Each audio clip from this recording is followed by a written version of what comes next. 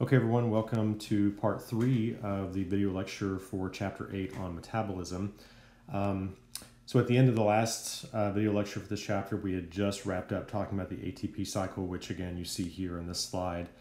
Um, and really, for the rest of this chapter, what we're going to be talking about is enzymes uh, and the way that enzymes make it possible for cells to run their cell chemistry very, very rapidly, which is key to having a living thing.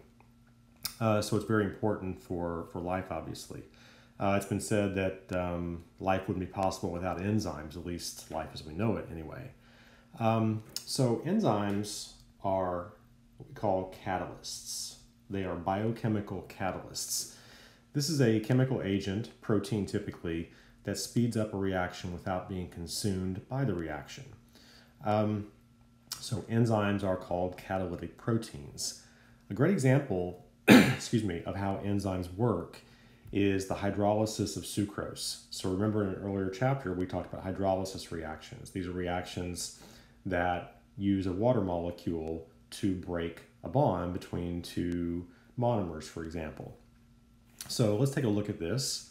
Um, here you see an example of an enzyme in action. So what you're seeing here is a sucrose molecule. Again, sucrose is table sugar made up of two smaller monosaccharides, glucose and fructose. Um, if you add a water molecule in, in the presence of an enzyme, in this case sucrase, we can break that glycosidic linkage and separate those two monomers from each other. Okay. Now, an important point about enzymes is that they're typically named for what they work on. So, sucrase is an enzyme that breaks down sucrose. One more important point about the name of an enzyme if you ever see an ending of ASE on a molecule, or for the name of a molecule, you automatically know that that molecule is an enzyme. So sucrase is an enzyme, you know that because of the ASE ending, and you also know that sucrase works on sucrose. So enzymes are very specific. Sucrase only operates on sucrose, nothing else, right? So enzymes are typically made for the one molecule they work on, and you know that they are an enzyme because of the ASE ending. Now, there's some enzymes that don't, whose names don't end in ASE.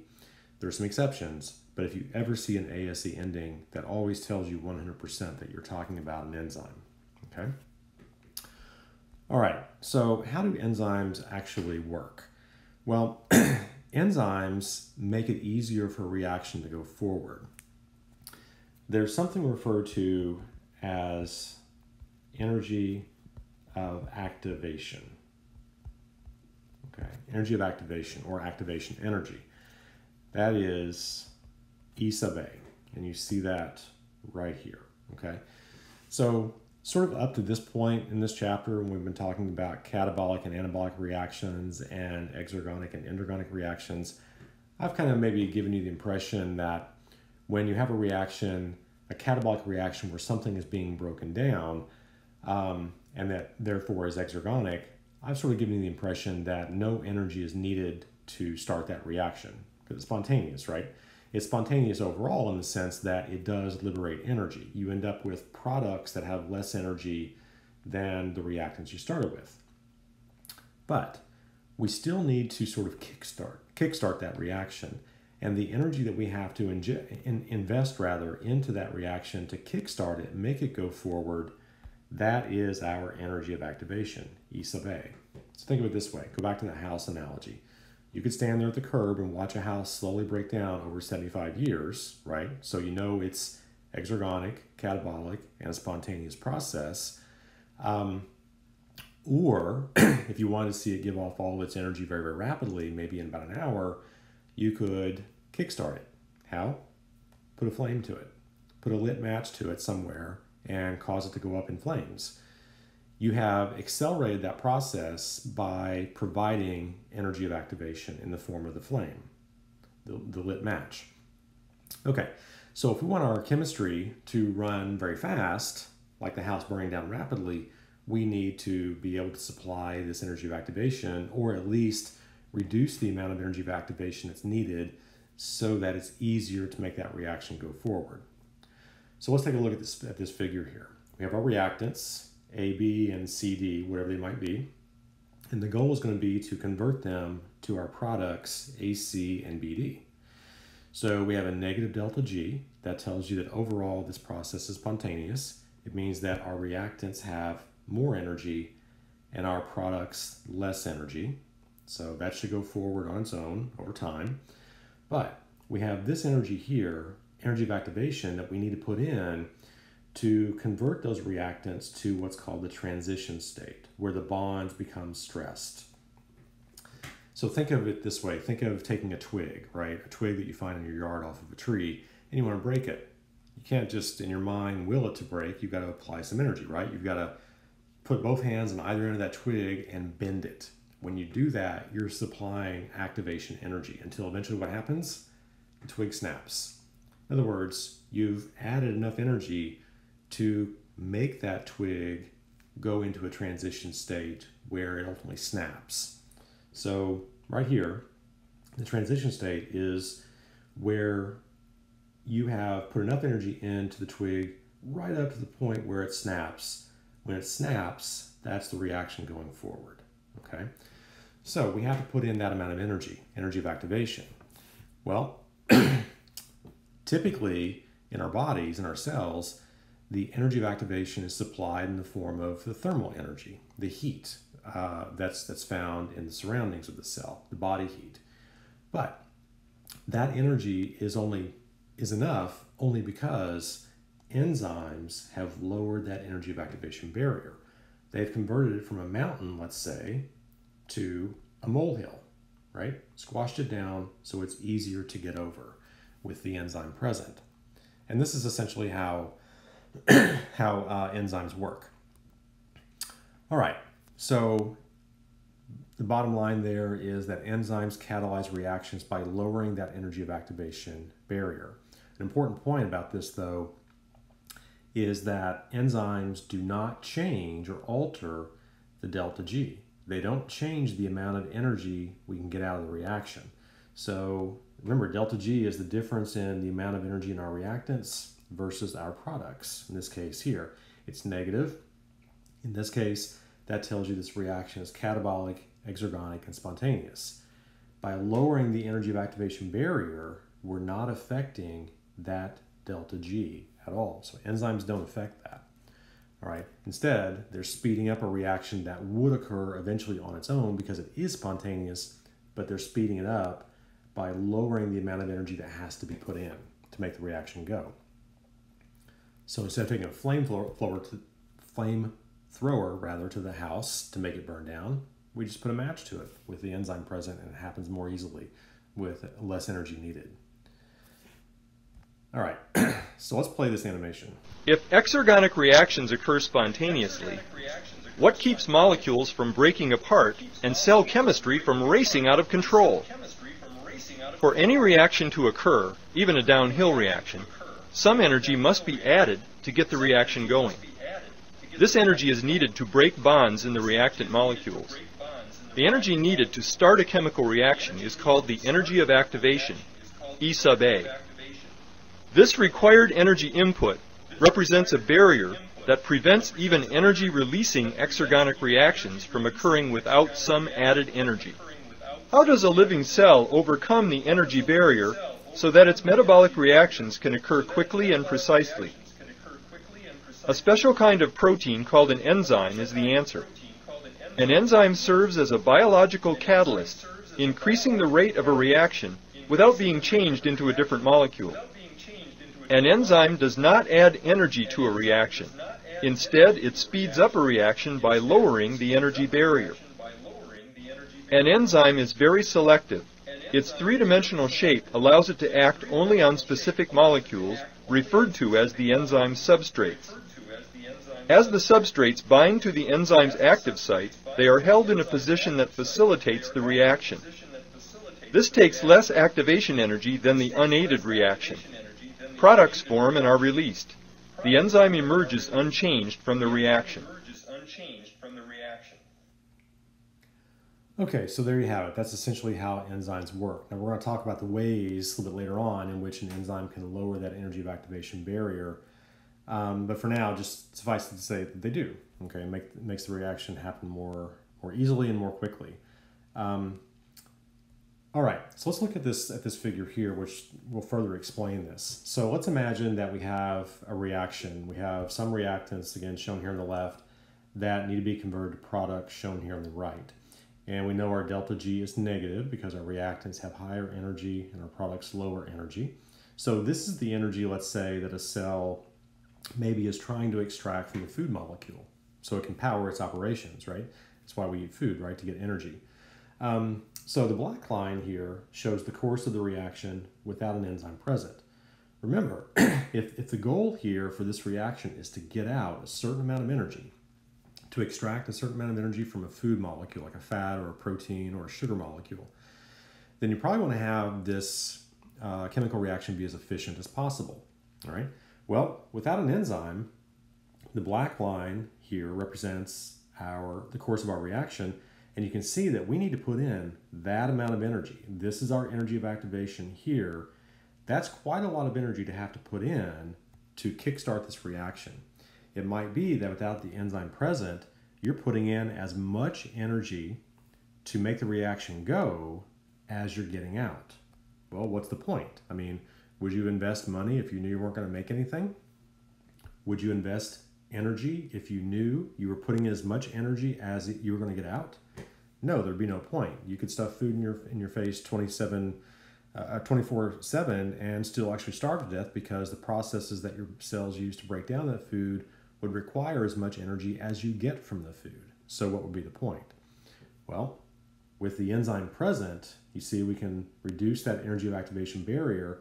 Now you only need to put in that amount of energy, and so now you can see the payoff is much greater. So, you could say that enzymes make life worth living. They make our metabolic processes more efficient by requiring less energy of activation so that energy that we get out is more of a profit, or the energy we get out is more of a profit in that sense.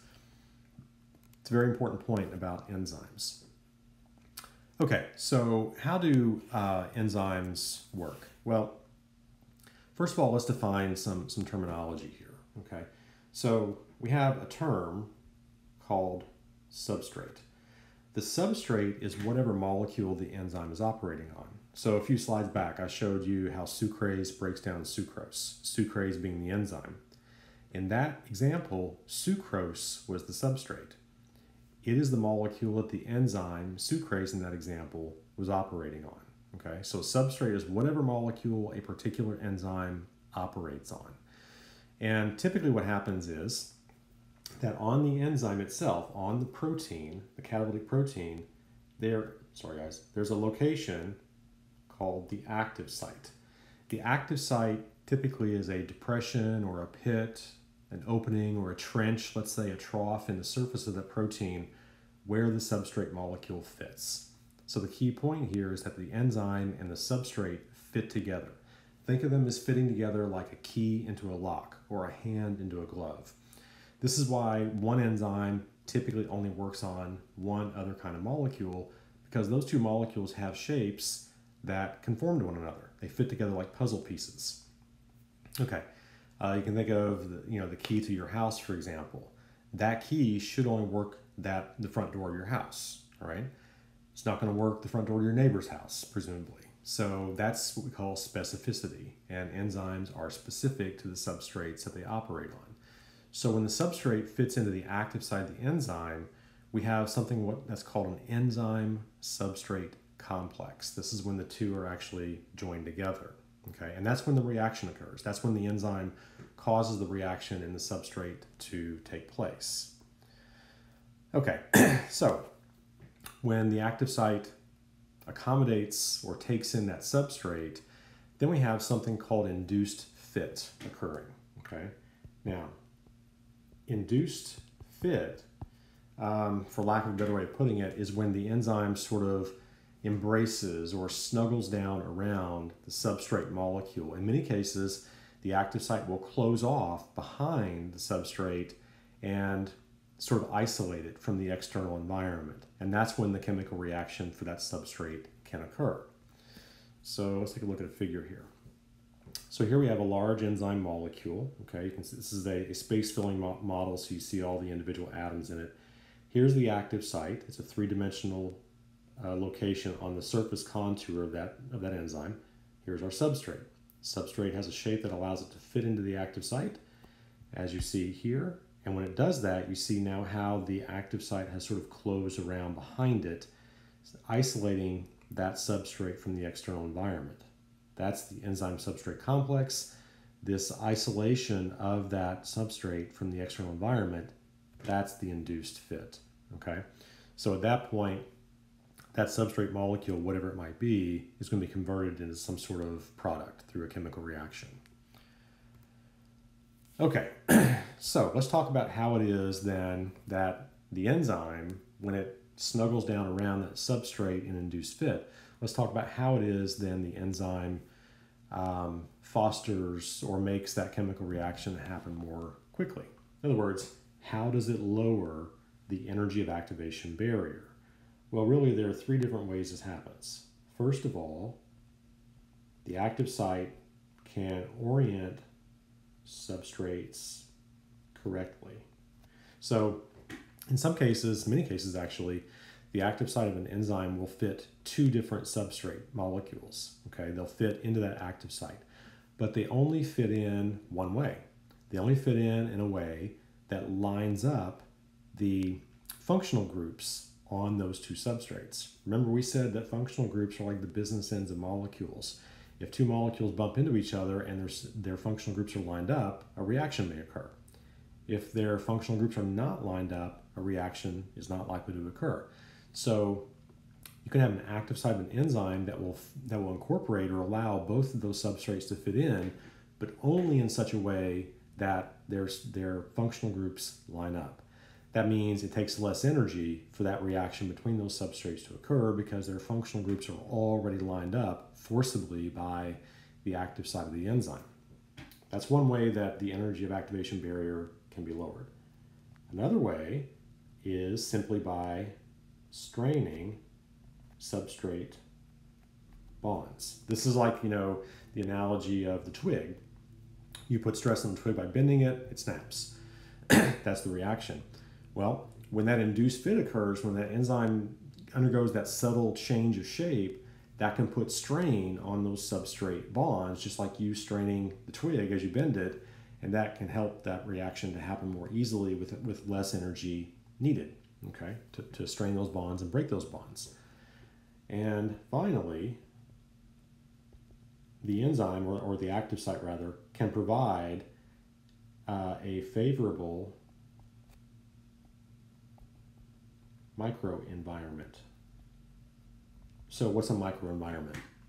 A microenvironment is a small volume of space that has different uh, environmental conditions than the surrounding larger volume of space. So here, for example, you have a substrate that goes into the active site of an enzyme. Maybe the active site is lined by amino acids that are acidic. Remember, we talked about amino acids that are acidic, some that are basic, and so on. if the amino acids lining that active site of that protein, that enzyme, are acidic, and the active site closes down around during the induced fit, down around the substrate, it can lower the pH inside the active site, and that can cause the reaction to happen more rapidly. Or maybe there are uh, amino acids lining the active site that are basic. They can raise the pH, make it more basic, which again would help that uh, reaction to occur more quickly. Um, so that's what we mean by providing a favorable microenvironment. But all of these are ways to reduce the energy of activation to make the reaction happen more easily, more quickly, with less energy necessary. All right, so let's look at an example here. This is basically how this works. So part number one, step number one, our substrates enter the active site. This is a case where there are two different substrates that need to react with each other. The active site that you see here will fit them both. They both go in, and now you see we have induced fit. The enzyme has changed shape a little bit, and that could be lining up those substrates so that their, their functional groups uh, come into contact with each other. All right, the reaction occurs. You see now we have react we have our reactants converted to products. Products are released, and now the enzyme will go back to its normal shape where the active site is open and we can have substrates come in again and the whole process continue in another cycle. And this can happen in you know a thousandth of a second. It's extremely fast the way that these enzymes work. But again, the enzymes are reusable as you see here. Once they're done with one round of converting substrates to products, they can do it again and again and again very, very rapidly. All right. So, important point, another important point about enzymes is, as I've said, they're proteins and remember structure and function. These proteins, these enzymes have a very specific shape, which gives their active site the shape necessary for the substrates to fit into the active site. That means that the enzymes need to have the correct shape. But the thing is that there are environmental parameters, conditions in our bodies that can alter the shapes of enzymes, of proteins. Generally, they're things like temperature and pH. Those are really the two most important. Salt concentration can do this as well, uh, but there are also other chemicals uh, that can alter enzyme function by altering the shape of the enzymes. But in terms of natural things in our body, usually it's temperature and pH. This is one of the primary reasons why our physiology is geared to maintain a fairly constant temperature and pH. Because if temperature goes too high or low, if pH goes too high or low, that can cause proteins that are behaving as enzymes to unfold. They can lose their shape. Uh, they can denature, which we talked about earlier uh, when we were talking about proteins. So as an example of this, each enzyme has an optimal temperature where it functions best. Uh, that's also true of pH. Each enzyme will have an optimal pH where it can function the best. So these optimal temperatures and pH are really what our physiology is largely about. It's about maintaining those constant conditions, the conditions that are most favorable to maintain the necessary shape of our enzymes that they need to work at their highest efficiency. So if we look at an example of this, here in the top figure, we see the optimal temperature for two enzymes. Okay, these are two um, um, different enzymes. Here we have the optimal temperature for the typical human enzyme, and think about human body temperature. It's about 98.6 on average, plus or minus about one degree. That's around 37 degrees Celsius. So what you're seeing here is the rate of enzyme activity. The peak rate of activity, so the rate of reaction on the y-axis, the peak is right at about 37 degrees Celsius for the typical human enzyme. Notice what happens at high temperatures. It drops off very rapidly. This is why a high fever can be so dangerous. Much above 105, 106, and your enzymes stop functioning because they unfold. They lose their shape. And if they don't have the right shape, they can't function. You can see that low temperatures do this too, but not as quickly as high temperatures do. What about heat tolerant bacteria? Uh, bacteria that live in, in um, hydrothermal pools and, and things like that that you might find out at Yellowstone National Park. They have temperatures of peak uh, reaction rates upwards of 77, 78 degrees Celsius. I mean, human enzymes, you can see, would, would cease to function long before ever reaching that temperature. They would unfold completely. In fact, the polypeptide would probably break down into individual amino acids at that high temperature. But species like some bacteria that are adapted to live in those high temperatures have enzymes that are adapted to maintain their shapes at such high temperatures. Their enzymes are completely inactive at normal human body temperature. so, this is a great example of evolution optimizing things to work in the environments in which they're found. What about pH? So, here we have two different human uh, or mammal enzymes. Here we have uh, pepsin. Pepsin is a stomach enzyme. You know, the, enzyme, the stomach is a very acidic environment. So pepsin works best at around pH 2, the average pH you find in, in stomach acid. Um, much above or below that, it unfolds, loses its function. Now, trypsin is an intestinal enzyme. The intestine is a fairly basic environment, average pH of around 8. And you see that's the pH where trypsin has its highest efficiency or its highest rate of reaction. so this is important because this is talking about these two uh, very important environmental conditions, temperature and pH, that uh, determine enzyme function. Again, this is why we have to maintain these fairly constant conditions because we need our enzymes to be functional. Okay, now up to this point I've been talking about enzymes kind of working on their own, but typically they don't work on their own we have um, other molecules typically called cofactors that very often help enzymes to do their jobs. These are non-protein enzyme helpers. Okay, they can be inorganic, like metal ions. So, for example, calcium 2 plus, magnesium 2 plus, for example, lots of others. These are metal ions that very often attach to an enzyme and make it work more efficiently. Um, but these cofactors can also be organic.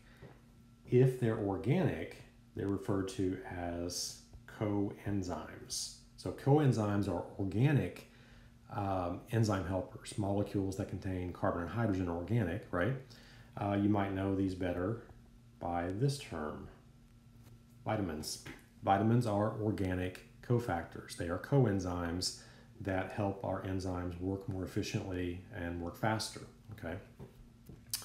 All right. now let's talk about the way it is that our cells actually control our enzymes. Uh, one thing about enzymes is, is that they're kind of overeager. They, they, they work very efficiently, and more often than not, they have to be kind of reined in and controlled, or else they'll sort of drive cell chemistry out of control. Things kind of run amok, right? So we have molecules called inhibitors, okay? Inhibitors or inhibitory molecules. Um, these are molecules that rein enzymes in, slow them down when they need to be slowed down. We have really two types. We have what are called competitive inhibitors and non-competitive inhibitors, okay? And I'll explain more about these in a second, but for now, just suffice it to say that competitive inhibitors bind to the active site of an enzyme and therefore they compete with the substrate. Remember, the substrate normally binds to the active site of the enzyme, but if a competitive inhibitor gets there first, that enzyme's active site is blocked. The substrate can't get in. All right. We also have non-competitive inhibitors. These are inhibitory molecules that don't bind to the active site of an enzyme. They bind to some other site elsewhere on the molecule, elsewhere on the enzyme, called a regulatory site.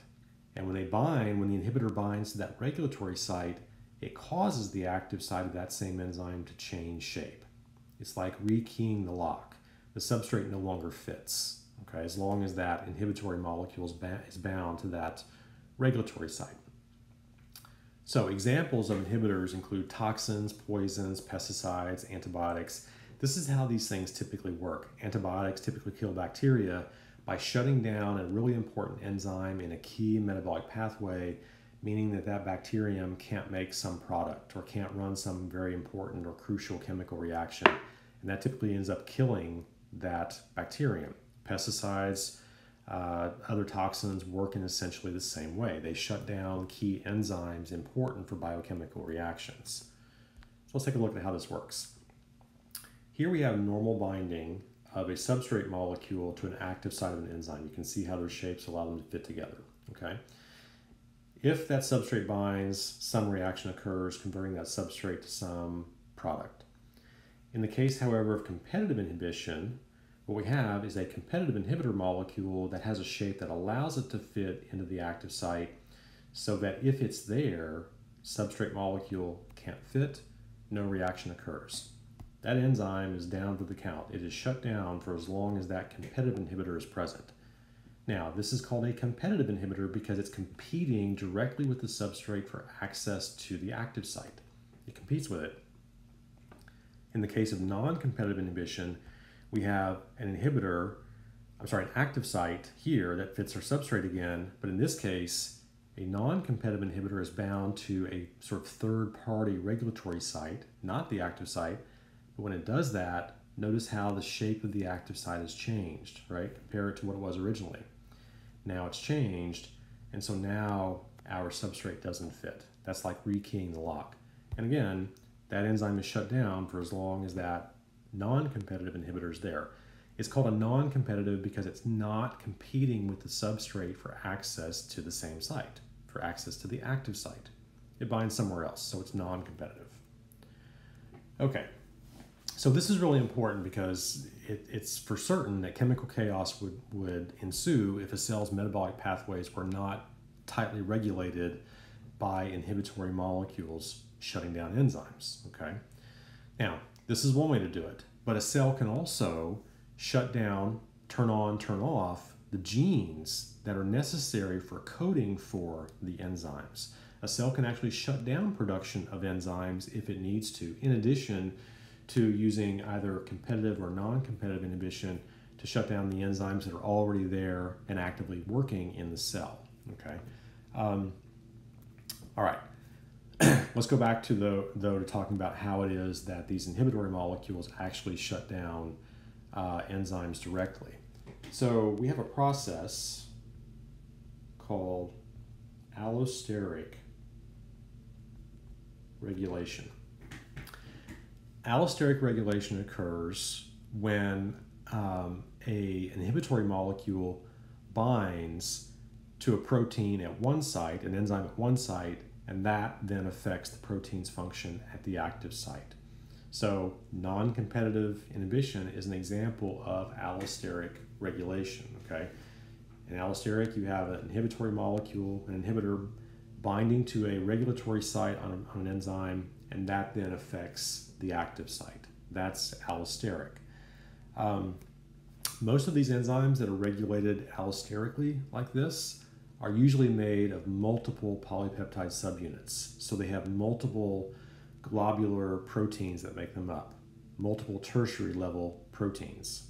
So they are quaternary level proteins made up of multiple tertiary level globular proteins. Okay. And these big enzymes, these allosterically regulated enzymes, oscillate or waffle back and forth between active and inactive forms very rapidly. And the binding of an activator will stabilize the enzyme in the active form. The binding of an inhibitor will stabilize it in the inactive form. So we've talked about inhibitors, but now I mentioned activators. We have activator molecules that will bind to these allosterically regulated enzymes that are oscillating back and forth between active and inactive forms. The activator will, will bind to it just at the right time when it's in the active form and lock it into the active form. And this is what you see here. So here we have allosteric activators and inhibitors. So here you see we have a large multi subunit polypeptide. That's a quaternary level protein, one, two, three, four uh, tertiary level proteins. Each one has an active site, one, two, three, and four. And there are one, two, three, four regulatory sites. Well, this enzyme is in the active form, but then in the next second, it, it waffles or oscillates rather into the inactive form where you can see that the active sites are closed up it then goes back to the active form. So it's doing this constantly. If an activator binds to one of these four activator sites at the right time, it can lock the enzyme in the active form, and then each of those four active sites can begin uh, taking in substrates and reacting with them, causing them to react to produce products. Well, what if our cells need to shut down the enzyme? An inhibitor can bind just when the enzyme has, has oscillated into the inactive form and lock it in the active form so it's shut down completely. All right, another version of this is what's called cooperativity. Over here we have activators and inhibitors that are different from the substrate, but in cooperativity, it's the substrate molecule itself that binds to an active site just when it opens up and locks the enzyme in the active form so other substrate molecules can bind. So in cooperativity, technically it's not allosteric, um, because it's the substrate binding to the active site that causes this, but it's the substrate itself doing it. It's not some third party activator or inhibitor molecule, and that's why we call it cooperativity. Okay. All right, so what are the signals then? It tells your cells when to activate uh, your enzymes and when to inhibit your enzymes. Well, this is a process called feedback inhibition. Okay, feedback inhibition. This is when the cell actually uses information from the internal or extracellular environment to tell it when to activate its enzymes and when to inhibit its enzymes. Your cells want to have enough enzymes to, to produce enough products through biochemical reactions just to suit your needs. They don't want to make too much of something or make too little of something that's not efficient. Um, and your needs are different throughout the day. When you're sitting or when you're sleeping at 2 a.m. in your bed, your needs for breaking down glucose are very low to produce energy. But at you know 1 p.m. when you're out during in your day being very active, maybe you're working out in the gym, you need to have a lot of glucose being broken down quickly because you need a lot of energy. So our levels of biochemical reactions are, are speeding up and slowing down throughout the day, and that's happening because our cells are activating and inhibiting enzymes uh, based on the needs of the cell. The process the cell uses to do this is called feedback inhibition, and it's important because it prevents the cell from wasting chemical resources by making more product than is needed, or, or vice versa, making too little of something which could be dangerous uh, to the cell. So let's take a look at an example of how this might occur. So here we have a biochemical pathway, right? Multi-step pathway that is going to convert some initial reactant called threonine right here into a final product isoleucine. There are a number of reasons why your cells need isoleucine, so don't worry about that. But there's an enzyme right here, okay, that's going to do this. That enzyme is called threonine deaminase. You know it's an enzyme, ends in ASE, and it tells you it operates on threonine, which you see right here. Here's the active site. You see threonine bound to the active site. Uh, you also see a regulatory site there on threonine deaminase. So reaction one converts that into intermediate A. Intermediate A is then converted by a different enzyme into B, intermediate B, and so on down the line until we get our final product, isoleucine. But usually the enzymes that are responsible for controlling the rate of these biochemical pathways are early in the process. Threonine deaminase is the first enzyme in the process. Okay, so let's say your cells need a lot of isoleucine; they're kind of low on it. Threonine binds with the enzyme, pathway occurs, and your cells start cranking out isoleucine. Okay, but eventually your cells get enough isoleucine that it's kind of wasteful to make more, or at least to, to, to continue making it at the rate at which they were when you didn't have enough of it, right? You don't need as much now. Okay, so what's going to happen is that you now have a, situation where there's excess isoleucine. The cell kind of overshoots, kind of makes a little bit more than it needs. There's excess around, and the isoleucine itself then binds to the regulatory site, right? The allosteric site on threonine deaminase. And when it does that, notice it changes the active site so it can no longer fit threonine. So your excess isoleucine starts to shut down all the uh, many of the copies of threonine deaminase, so you can't make any more isoleucine. Your cells are making the isoleucine because they need it. So in addition to using some of the isoleucine to shut down the enzymes, your cells start using the rest of the isoleucine, converting it into other things. So think about what happens to the concentration of isoleucine then in the cells. It's going down.